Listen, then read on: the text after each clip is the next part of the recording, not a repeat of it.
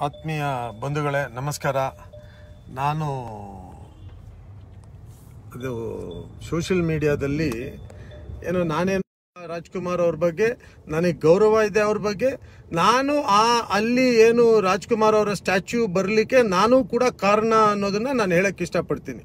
ಅದನ್ನ ಹಾಕಿದೀವಿ, ಅಲ್ಲಿ ಮಾಡಿದೀವಿ. ಅದಕ್ಕೆಲ್ಲದಕ್ಕೂ ನಾವು ನಿಂತ್ಕೊಂಡಿದೀವಿ ಅದರಲ್ಲಿ ಅಲ್ಲಿ ಕೆಲಸ ಮಾಡಲಿಕ್ಕೆ.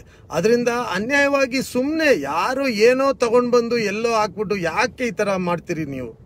ನಾವೇನ ಏನು ಆ ಥರ ಯಾವತ್ತೂ ಮಾತಾಡಿಲ್ಲ. ಇವತ್ತು ಅಂತಲ್ಲ ಯಾವತ್ತೂ ಮಾತಾಡಿಲ್ಲ. ಅಣ್ಣ ಅವರು ಪರ್ಸನಲ್ ಆಗಿ ನಾನು ಬಹಳಷ್ಟು ನನಗೆ ಹತ್ರದಲ್ಲಿ ನನಗೆ ಗೊತ್ತಿರುವಂಥವ್ರು. ಅವರು ಅವ್ರ ಜೀವನವನ್ನ ನೋಡಿ ಕಲ್ತಿದ್ದೀವಿ ನಾವು. ಅವರ ಸಿಂಪ್ಲಿಸಿಟಿ ಮಾಡೋದು ಸರಿಯಲ್ಲ. ಆಮೇಲೆ ಅಣ್ಣ ಅವ್ರಿಗೆ ಯಾರೇ ನಾನಂತಲ್ಲ ಯಾರೇ ಒಬ್ಬ ಅಣ್ಣ ಅವ್ರ ಬಗ್ಗೆ ಇವೆಲ್ಲ ಮಾಡಬೇಡಿ. ನಾನು ಏನಾದರೂ ಆ ಥರ ನಿಮಗೆ ಬೇಜಾರು, ನೋವಾಗಿ ಯಾರಿಗಾದ್ರೂ ಕ್ಷಮೆಯನ್ನು ಕೂಡ ಕೇಳ್ತಾ ಇದ್ದೀನಿ ಆ ಥರ ಏನಾದರೂ ಆಗಿದ್ರೆ ನಿಮ್ಗೆ ಯಾರಿಗಾದರೂ. ಪ್ಲೀಸ್ ಇದನ್ನು ಬಿಡಿ. ಸುಮ್ಮನೆ ಇದು ಈ ಥರ ಇಲ್ಲ. ಇಲ್ಲದೆ ಇರೋದನ್ನು ಯಾಕೆ ಮಾಡ್ತೀರಾ? ಅದು- ಅದರಿಂದ ಅದನ್ನು ಅಲ್ಲೇ ತಾವು ದಯವಿಟ್ಟು ಅದನ್ನು ಕ್ಲೋಸ್ ಮಾಡಬೇಕು ಅಂತ ತಮ್ಮಲ್ಲೆಲ್ಲರಲ್ಲೂ ಅಪೇಕ್ಷೆಯನ್ನು ಮಾಡ್ತಾ ಇದ್ದೀನಿ. ಥ್ಯಾಂಕ್ ಯು ಜೈ ಕರ್ನಾಟಕ.